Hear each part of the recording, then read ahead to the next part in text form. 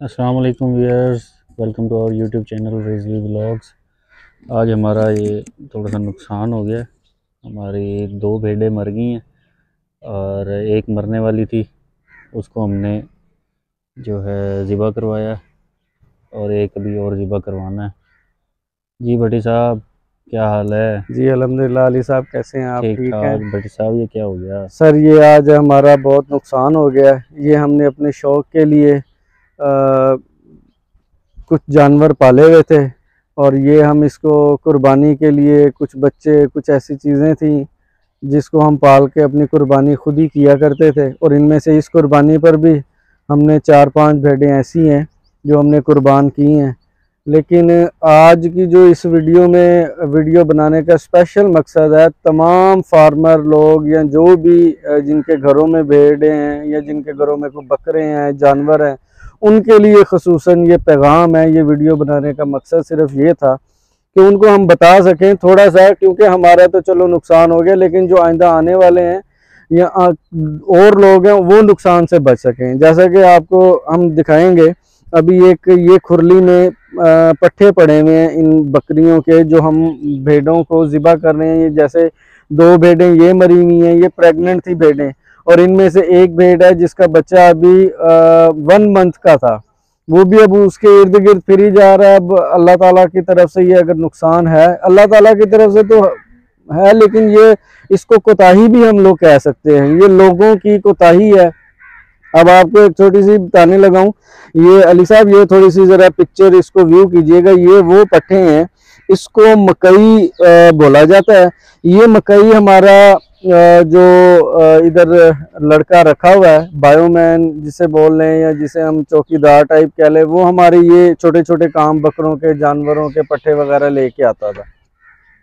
वो कल इसको पट्टे लेके आया जब कल लेके आया तो ये सारा दिन ये खाती रही है। एक्चुअली ये को, कोई ना इन्हें कोई सांप लड़ा है ना इन्हें किसी किस्म की कोई बीमारी हुई है ना इन्हें गर्मी लगी है।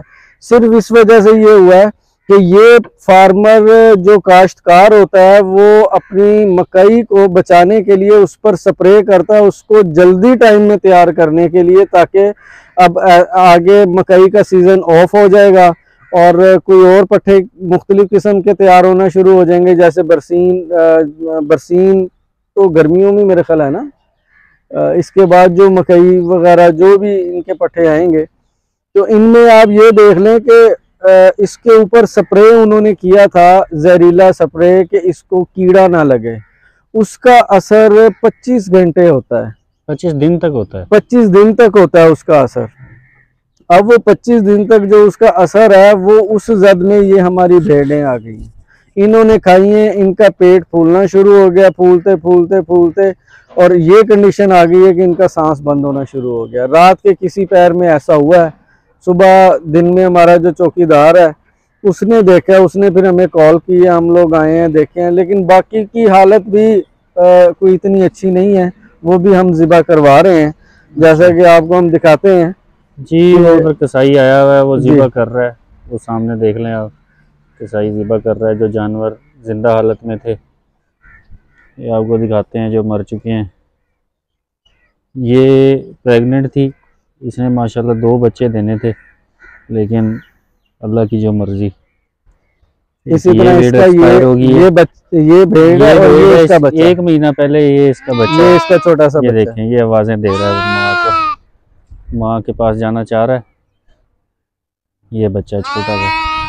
एक महीना भी उम्र नहीं होगी बीस पच्चीस दिन उम्र है। ये यहाँ बोल रहा है अब खड़ा होके। ये इसकी माँ जो है वो एक्सपायर हो गई है बड़ी साहब तो- बच्चे का क्या बनेगा? इस बच्चे का सर ऐसा करेंगे इसका हम एक छोटा सा फीडर अरेंज करेंगे और स्पेशल इधर जो आदमी है उसकी एक ड्यूटी लगाएँगे हम ताकि वो इसको दिन में कोई पाँच से सात दफ़ा जी। वो उस फीडर के ज़रिए दूध पिलाएगा। बाकी ये हल्का फुल्का घास वगैरह खाती है हाँ तो वो उससे कुछ कमी पूरी कर लेगा लेकिन माँ का तो नेमो बदल नहीं हो सकता ना। जो उसने इसको दूध वगैरह पिलाना था लेकिन हम कोशिश करेंगे कि उस डॉक्टर साहब भी आए थे अभी डॉक्टर साहब ने बताया है ये सारा ये जो तरीकाकार हुआ है।